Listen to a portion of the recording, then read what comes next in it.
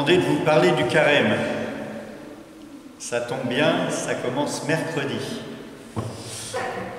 Pour le carême, comment est-ce que je dois m'y prendre? C'est souvent la question.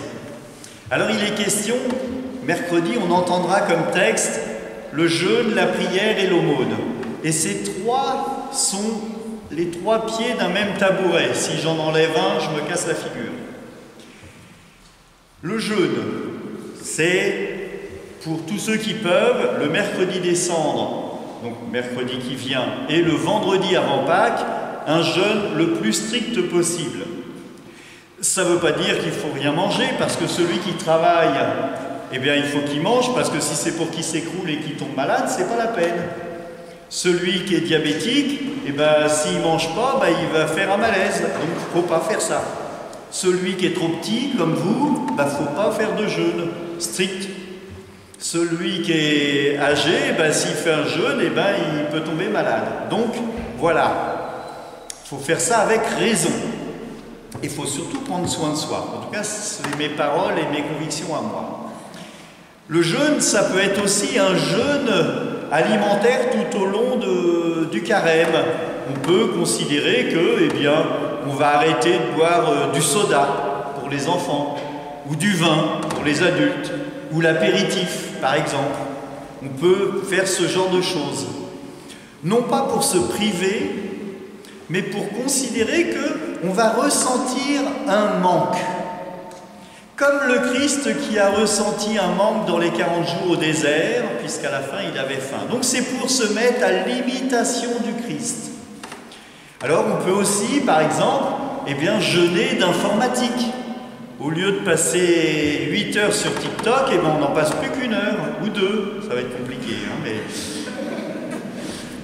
et on peut euh, considérer de regarder moins la télé. Et puis, donc vous voyez que si je regarde moins la télé, ben, j'ai plus de temps pour moi. Alors qu'est-ce que je vais faire de ce temps? Eh bien, je peux le consacrer à prier. Donc du coup, je, en en enlevant un, je fais un deuxième, un deuxième pied de mon trépied. Et donc dans la prière, comme l'a dit si bien Hélène, l'église ici, elle est ouverte tous les jours. À partir de 8 heures, même un peu avant, jusqu'à, euh, bah, en ce moment, jusqu'au couvre-feu, elle est ouverte. Et donc on peut venir ici aussi prier le jour où on sort de l'école, le jour où on va chercher le pain. On peut rentrer, se mettre devant le Saint-Sacrement et prier. Mais on peut aussi très bien prier chez soi, ou en allant se promener dans la campagne.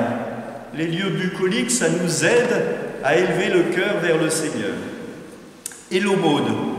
Si je considère que pendant mon temps de carême, je vais arrêter de manger du chocolat et de boire du soda, ou arrêter de boire l'apéritif, bah, ça me fait faire des économies. Et cette économie, bah, je peux la donner au secours catholique, au CCFD, au Resto du Cœur, à une association qui aide les autres. Et du coup, je réalise mes trois piliers de carême. C'est chouette, parce que c'est à la fois une petite contrainte et à la fois une grande joie, parce qu'il y a plus de joie à donner qu'à recevoir. Je crois que le... Il y a quelqu'un qui a dit des petites choses. Hein. Je crois que le carême, c'est ça, c'est pas se faire un grand projet immense. Ah ben alors, je vais arrêter de manger de viande, je ne mangerai plus le vendredi, je vais plus... Et puis, à la fin, au bout de trois semaines, on est écroulé de fatigue, on n'y comprend plus rien, et puis on réalise plus rien de tout ça c'est comme ceux qui disent Ma résolution de cette année, c'est une heure de sport tous les jours, euh, et puis ci, et puis ça, et puis ça. Puis au bout de trois mois, bah, ils font plus du tout de sport, ils ont pris 15 kilos et j'en parle plus. Eh bien, vaut mieux choisir quelque chose de, à notre taille, et puis s'en tenir. Donc, pour ça, si je dis bah, je vais arrêter de boire du, coca ou une boisson ou autre comme ça, bah, voilà, c'est à peu près à ma mesure. Bon, puis je vais remplacer le coca par euh, euh, de l'eau et du sirop, par exemple. J'en sais rien. Chacun choisit ce qu'il, souhaite. Et puis, tout cela, ça a un seul but. Parce qu'il y a un but. C'est la rencontre du Seigneur à Pâques. En gros, c'est se préparer dans son cœur à rencontrer le Christ qui s'offre pour nous dans toute son entièreté. On ne fait pas ça juste pour respecter les lois de l'Église. Ça n'aurait aucun sens. On fait ça pour pouvoir se préparer à Pâques, à cette belle fête de Pâques où le Christ s'offre, offre sa vie et surtout qu'il ressuscite pour nous sauver nous. Donc, si vous avez comme objectif, je vais rencontrer le Christ dans un cœur pur et avec ces trois piliers, le jeûne, la prière et l'aumône, eh bien je vais être heureux de le faire. Si vous le faites comme une contrainte, eh bien vous allez vous écrouler au bout de 15 jours et puis ça n'ira pas jusqu'au bout. Je crois que l'important du chrétien, c'est la rencontre avec le Christ. Après, chacun, chacun est libre dans sa tête et dans son esprit de choisir ce qui est bon pour lui et ce qu'il peut réussir à faire.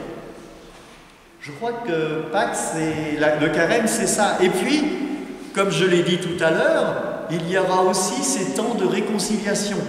Vous allez voir que sur la feuille, j'ai mis plusieurs temps de réconciliation. Mercredi, il y a des temps de réconciliation, deux fois, une heure. Vendredi, tous les vendredis, il y aura un temps de réconciliation, une heure après le chapelet, après le, chemin de croix. Vous aurez des temps de partage, on va faire des temps de louange ici dans l'église. Donc il y aura des animations particulières. Et puis, moi je serai présent à tout moment, même en plus des temps de réconciliation, pour vous offrir ce sacrement de la réconciliation, qui fait partie d'une pureté de cœur qui nous permet des fois d'avancer. Voilà pour le carême, et donc bon carême à tous.